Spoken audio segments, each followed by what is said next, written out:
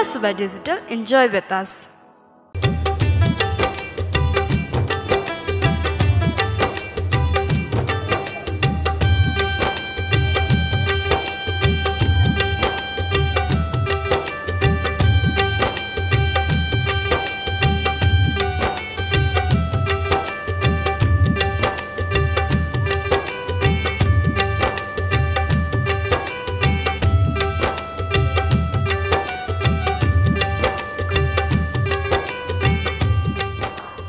साला दहेज के सामान तो कुछ भी दिखाई नहीं दिया था। खाली हाथ पठावे सोचत है का?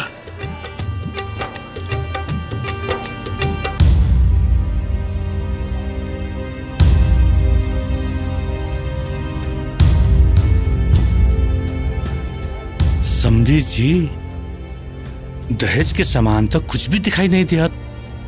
हमार इज़्ज़त के खातिर कुछ तो चाहिए अभी बात नहीं बिगड़ल।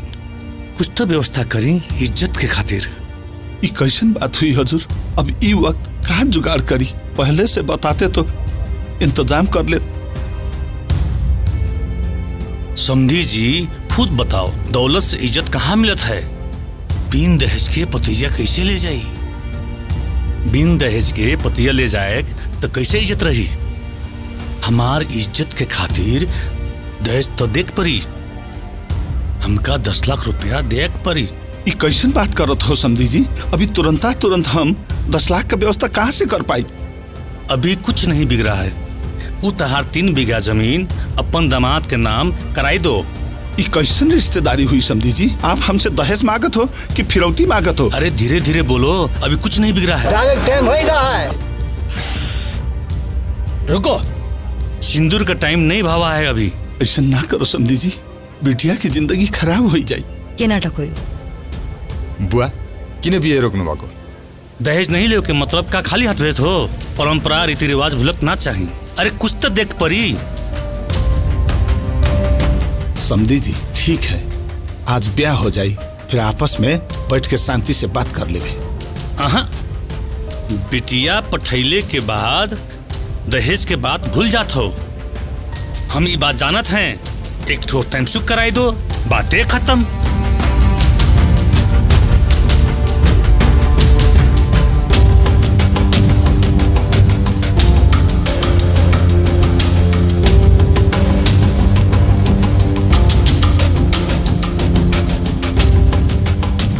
हरि नारायण मिश्र और काका चाहे? सबैको लिस्ट भनिहाल्नुहोस् सबै घरमा पुऱ्याइदिउँला। मालिका तिमी यो के भन्दैछौ? सर्वन यो तमासा हो। एउटा छोरी मान्छेको मोलतोल गर्ने। अरे यार तिमी त पढेको मान्छे हो। तर अफसोस अन्धविश्वास र कुरीतिबाट बाहिर आउने शिक्षा पाएको छैन रहेछौ मैले पढेको योग्यता सम्पत्ति हुँदैन। मेरो शरीर र श्रम सम्पत्ति हुँदैन। मैले मेरो बाबाको घर छोड्छु त्यो त्याग सम्पत्ति हुँदैन। तिम्रो घर तिम्रो नियम तिम्रा मान्छे तिम्रो नामको पहिचान सँगै जोडिने जान तयार छु म। के यो विश्वास सम्पत्ति होइन? देख्यो सरवन यहाँ डर निर्धार निर्धनको होइन। डर त शिक्षित र सम्पन्नताको खोल ओढ्ने व्यक्तिहरूको छ। देखो थो सरवणवा तोरा जीत के चलते गांव में हमार भवा है। वही कहत है औकात देख के रिश्ता बनाए पड़ी। औकात? कौन सा औकात का बात करत हो? हरि नारायण मिश्र? लड़के बेदी में रख के भीख मांगे वालन का कौन सा औकात होत है? मालिका? चुप! मालिका मेरो कुरा चुप! अब म तँसँग बिहे गर्दिन जा।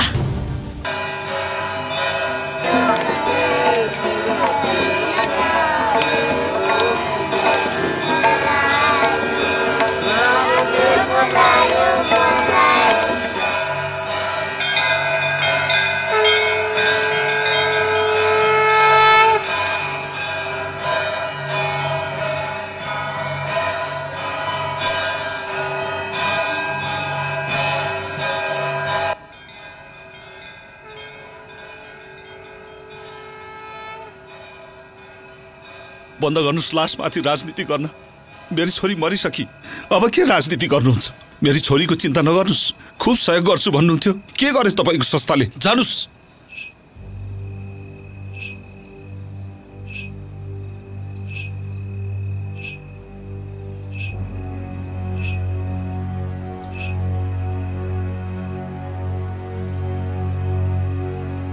नमस्ते। जानुहोस् तपाईँहरू।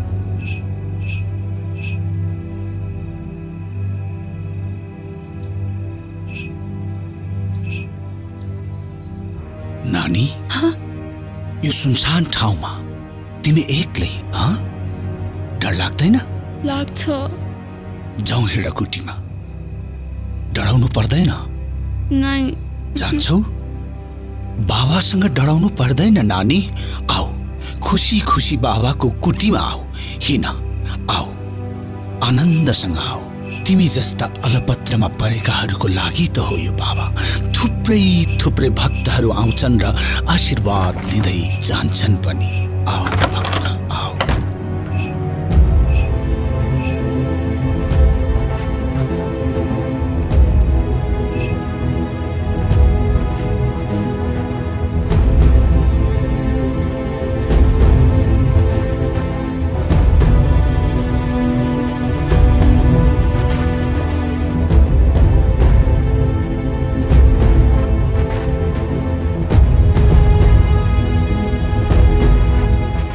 आऊ नानी आऊ। डराउनु पर्दैन जाउँ हिँड।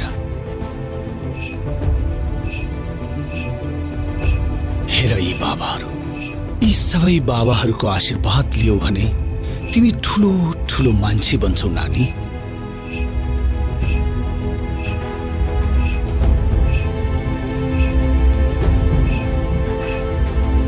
बस नानी बस। डराउनु पर्दैन। यी सब बाबाहरू नै हुन्। बस। बस नानी बस।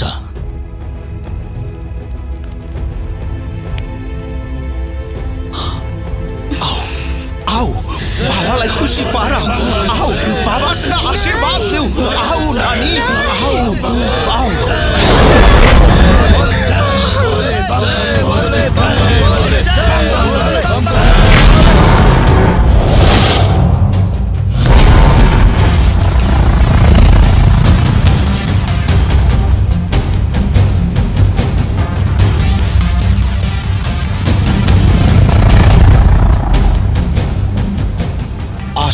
लिन आएको जस्तो छ। जाऊ। उसलाई पनि लिएर आऊ।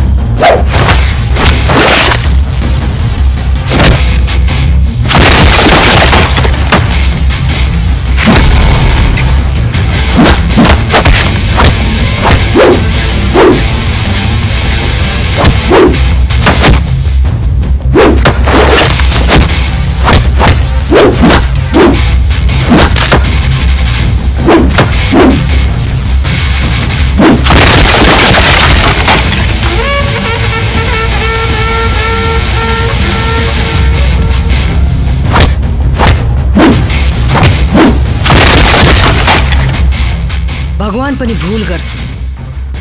जो कोहीलाई भक्तजन हुने सुविधा दिएर।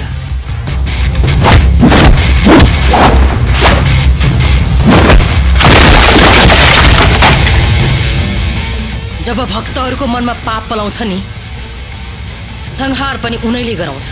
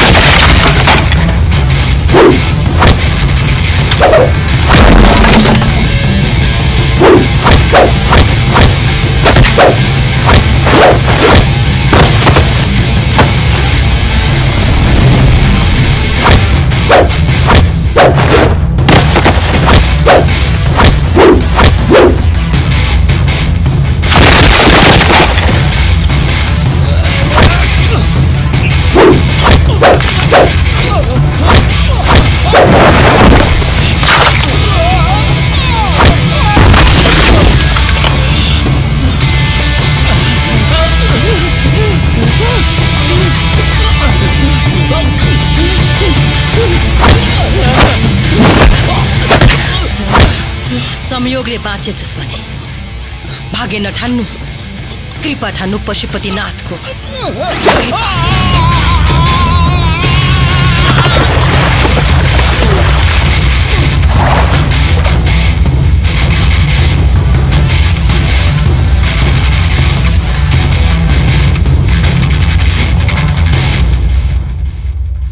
डर। डरको आँखामा यसरी आँखा जुदाएर हेर। ताकि डर पनि तिमीसँग डराउन थालोस्। यो संसारमा हरेक मानिसभित्र डर हुन्छ। त्यो डर तपाईँहरूभित्र पनि छ म भित्र पनि छ। जो मानिसले डरसँग सामना गर्न सक्छ ऊ जीवनमा कहिले पनि असफल हुँदैन। त्यसकारण जिन्दगीमा सफलता हात पार्नु छ भने आफू भित्रको डरसँग विद्रोह गर्नुहोस् सामना गर्नुहोस्। डरलाई जित्नुहोस् डर हाम्रो मित्र पनि हो शत्रु पनि हो। असफल हुने डर अज्ञानी देखिएला भन्ने डर अरूले के भन्ला भन्ने डर भोलिको डर हिजोको डर नघटेको घटनाको डर अनि छोरी हुनुको डर। कसैले के भन्ला भन्ने डर काल्पनिक कुराको डर। नघटेको घटनाको डर। कति डर बोकेर बाँच्छौँ हामी। तपाईँलाई थाहा छ? जीवनमा सफल हुने कुरा सोच्नुभन्दा असफल भइन्छ कि भन्ने डर बोकेर हिँड्छौँ हामी। अनि कसरी सफल भइन्छ? जीवनको खेलमा जित्नुभन्दा हारिन्छ कि भन्ने डर बोकेर हिँड्छौँ हामी। डरले सचेत त गराउँछ तर सानो हुनुको छाप छोडेर जान्छ। वर्षौँ लगाएर डराउन सिकेका छौँ। तर इतिहास क्षणमै बदलिन्छ।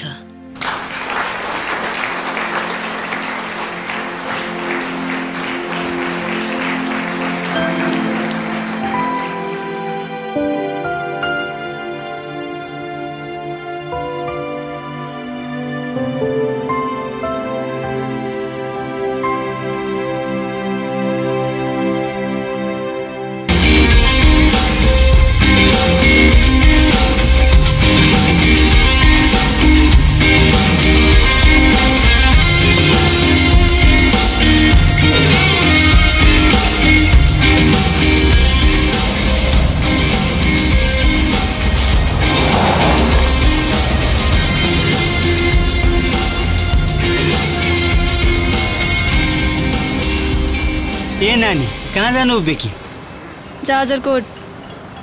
जाजरकोट? आऊ हामी पनि बुटोलसम्म जाने हो। सँगै लैजान्छौँ। हेर यहाँबाट जाजरकोटको बस पाइँदैन। बुटोलबाट भए पाइन्छ। हामी तिमीलाई बुटोलबाट राम्रो बस चढाएर जाजरकोट पठाइदिन्छौँ। यसरी एक्लै केटाकेटी बस्नु हुँदैन यहाँ। जमाना खराब छ। आऊ। केही हुँदैन। आऊ। त्यही त डराउनै पर्दैन। आऊ हामी अङ्कल जस्तै हो क्या? ल बस। ल जाउँ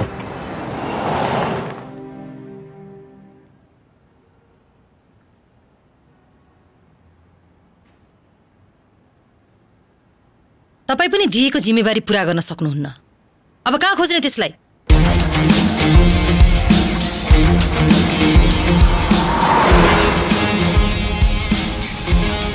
नानी के जाजरकोटै जाने हो? होइन किन नबोले? यसो बुटोलतिरै बसौँ न त्यतैतिर खाउँला रमाइलो गरौँला हुन्न?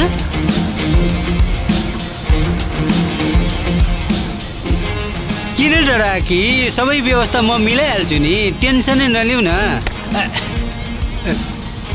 भोलि गयो नि भइहाल्यो नि घर त।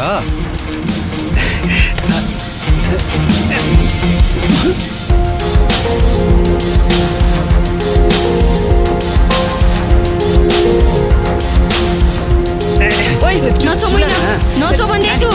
छोड मलाई। गाडी रोक। रोक गाडी। नानी।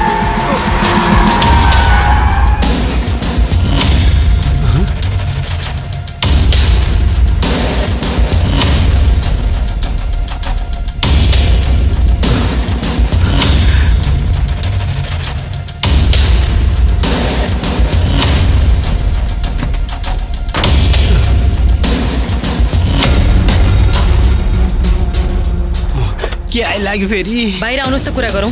किन? के भएर? यो। उही, बाहिर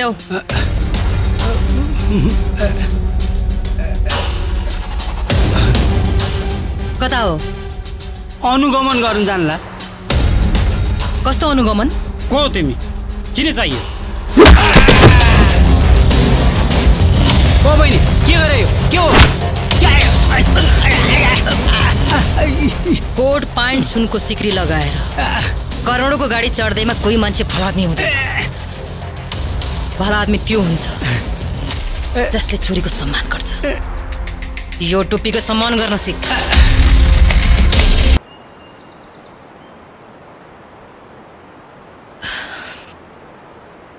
तिम्रो र मेरो कथा उस्तै छ। तिम्रो र मेरो कथा मात्र होइन जया। हामी छोरीहरू संसारमा जहाँ जन्मे पनि हाम्रा कथा उस्तै हुने गर्छन्। तिमी जुन सङ्घर्षबाट आएकी छौ मेरो पनि कथा त्यस्तै छ। तर थाहा छ जया जति हन्डर खाए पनि जीवनको सुन्दरता जाँदैन। हामी अगाडि नै बढ्ने हो। यो नदी अविरल बढे जस्तै। सपना बचाउन गाह्रो छ। तर असम्भव छैन।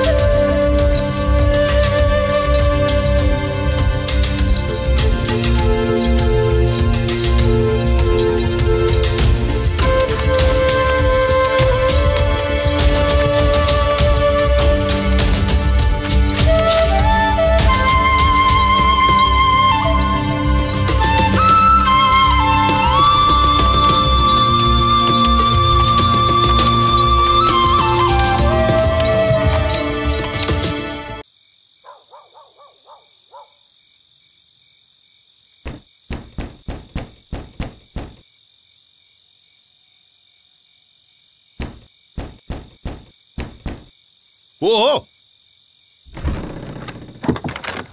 हो नमस्ते को हो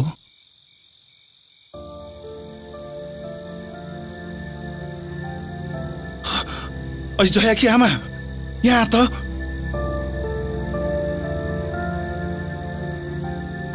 अय बाबा जया पो आएछ छोरी आमा के तेरी छोरी लडाइँ जितिकन आयो र चाँडा आइथ्यो वहीँ चाबन रुन्देऊ क्या? हो नबन त भित्र नपस है मेरो घरमा। त मरि गई मरि गई सदाका लागि। कहाँ कहाँबाट आए छोरी नै यस्तो नगर? मेरो एक फुल फुटीको फुटीको। इजेत बिजेतको ख्याल छैन। बस्ती मान्छे रहेछ। के नाकले आयो अहिले? लाज मान्न पर्ने हो। आउनुहोस् इज्जत दिदी मान्छे। यो घर मेरो पनि हो। इज्जत नभए कि यत्रो समयदेखि घरबाट हराया छोरी। कहाँ गई थिए कैसँग गई थिए के यही हुन् हाम्रा चलन? आम्बासँग नसोधिकन हराएकी छोरी? कसरी मैले नाक देखाउने समाजको अगाडि? मैले बिहा गर्न भनेर ठिक्क पारेको त भागी किन भन् त? मैले तेरो कारणले कोहीसँग मुख पनि देखाएको छुइनँ। खाना त देऊ तिमी पनि कति कचकच कचकच गर्छौ क्या हो? कहिलेदेखि हरियाए छोरी बल्ल बल्ल घर आएछ? ज्या जाइ त भए पनि आफ्नी छोरी हो। खाना देऊ खाने बेला त कालाले छोड्छ भन्छन्। तिमी खाना दिँदैनौ त हो। छोरी हो हाम्री। आफै भनिन क्यार नि हो। गाउँमा अरू मान्छेका अगाडि मुख देखाउने बाटो भयो। बुवा एउटा कुरा भन्नुहोस् त। तपाईँले मलाई आफ्नो लागि जन्माउनु भए हो कि समाजको लागि? क्या मेरो आफ्नो जिन्दगी हुँदैन? म मालिका यादव। मेरो घर तराईमा हो। नेपालगञ्ज थाहा छ? त्यही हो मेरो घर। म जयाको दिदी हो। यिनको नाताले दिदी नभए पनि अनुभूतिले दिदी हो। छोरीको शरीर लिएर के जन्मेको थिएँ? हजार लडाइँ लड्नु पर्यो। बारम्बार छोरी हुन सिकायो यो समाजले। तर म मान्छे बन्न चाहन्थेँ। थाहा छ बुवा हामी जहाँ जन्मे पनि हामी छोरीहरूको कथा उस्तै हो। त्यसैले मलाई जयाको माया र यसको कथाले मलाई यहाँ पुर्यायो हामी नाताले आमा बुवा दाई भाइ जो भए पनि एउटा छोरी मान्छेको लागि सबै समाज मात्रै बन्छ। संस्कार बन्छ अनि परम्परा बन्छ। के छोरी जन्माउनु दुर्भाग्य थियो त?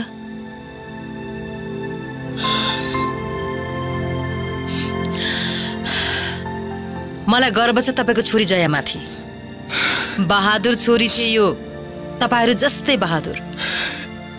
अब यो आरणमा पछिर बाहिर निस्किएकी छे अब यसको चिन्ता नलिनुहोस्। अब यो हतियार भइसकेकी छे काठमाथि बस्या फलामले। सजिलै खोला तर्दछ भन्दछन्। कुन दिन मेरो छोरीले तपाईँलाई भेटाइछ धन्य छ ईश्वर। धन्य छ।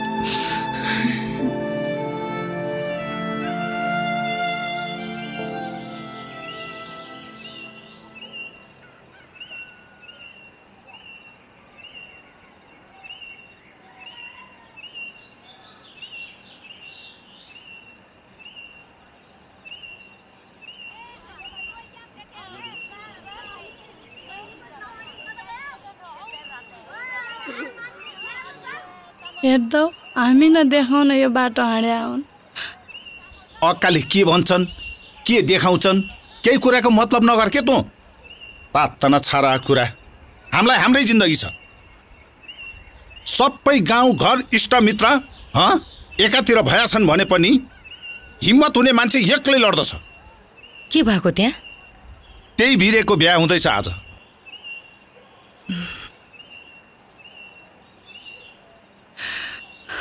तेरो त जिन्दगी बिगार्यो बिगार्यो त्यो पापीले।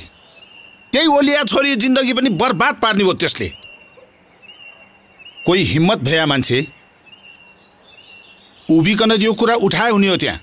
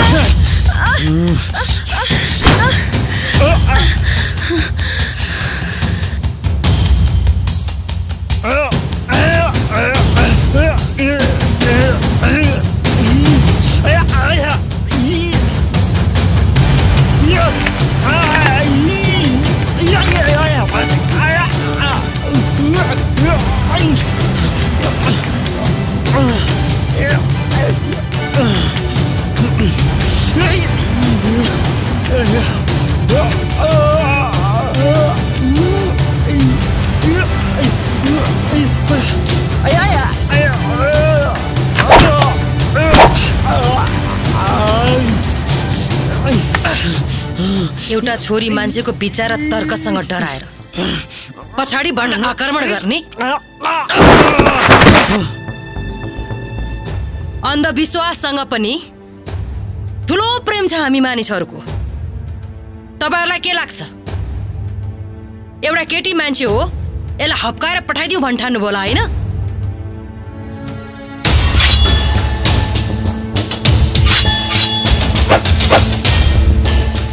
बाल विवाहको भतेर खान आएका रमितेहरू यदि आफ्नो खुट्टा सही सलामत घर लिएर जाने हो भने मलाई छुने कोसिस नगर्नु।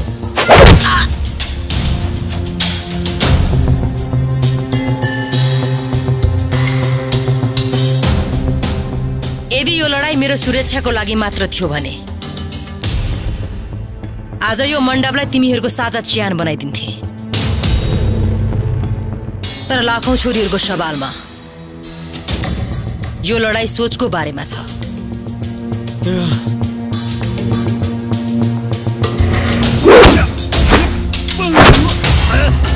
वीरबहादुर होइन तेरो नाम?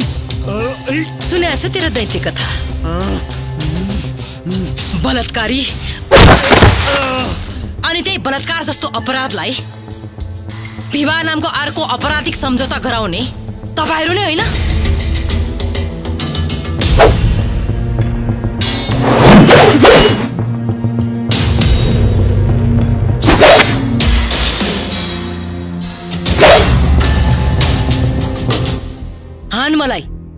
मारिदे सक्छस् भने यो जयालाई पनि भेरीमा फ्याल्दे। लाज छैन बालिकामाथि बहादुरी देखाउन।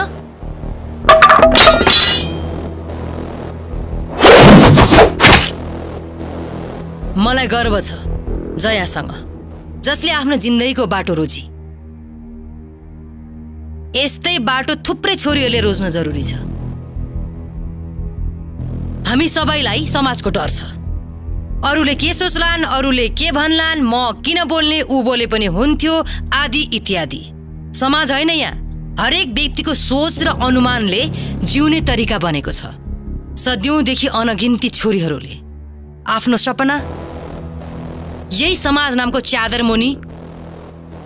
ढाकेर डराएर मौन भएर त्यागेका छन्। के हामी छोरीहरू मान्छे होइनौ? के उनीहरूको रहर हुँदैन? के तिनका सपना हुँदैनन्? छोरी बुहारी अनि एउटा आमा स्वतन्त्र हुन सक्दिनन्?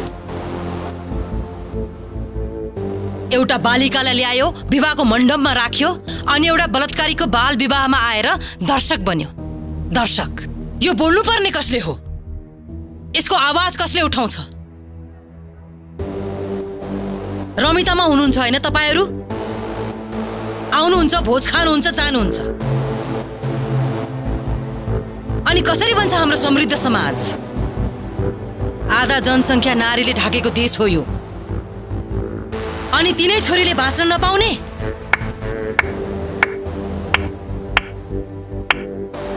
सबैजनालाई नमस्ते म यस नलगाड नगरपालिकाको प्रमुख।